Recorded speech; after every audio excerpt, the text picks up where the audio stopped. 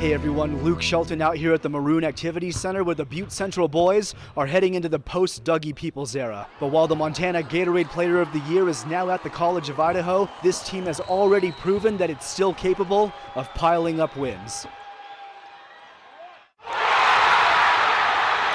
Peoples gave us this unforgettable moment to cap off the 2022 State A championship and is now chasing his dreams with reigning national champion College of Idaho. But I know he's got bigger and better things ahead of him. And it's not easy to play at the next level, but I know with his work ethic, you know, he's going to find his spot. And I, I promise you, the kid's going to be a player at the next level. But with Dougie graduated, now what?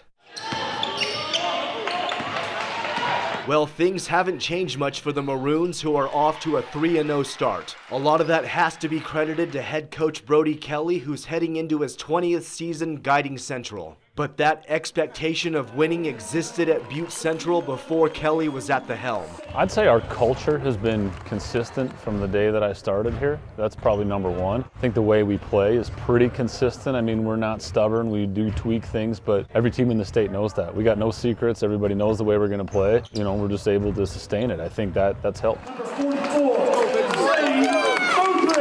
What's also helped is having a roster that's stacked with talent, including seniors Zane Moudry and Jack Keeley. And rolling through the early part of their schedule has given them a clear idea of where they stand as the Southwest A approaches. We love to get tested early, you know, you want to see where you're at, like how good can you be? They were good tests of what we can be this season. I think it's super important. It kind of gauges where we're at compared to the rest of the West at least. But yeah, playing these teams that aren't in our conference kind of tell us where we're at. With a mixture of veteran players and new faces, Central is poised to continue its run of success. But make no mistake about it, adjusting to life without Dougie has been, well, an adjustment. Dougie was such a unique player that most everything we did offensively was predicated on what he was doing. And we ran a system that allowed him a lot of freedom to be himself. But, you know, now we're back to kind of what was normal before Dougie.